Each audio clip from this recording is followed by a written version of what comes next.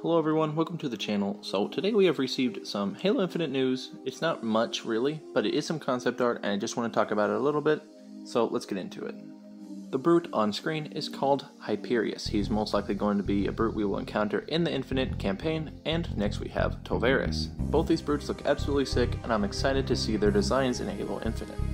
This intimidating weapon is a detachable turret known as the Scrap Cannon. It looks insanely sick.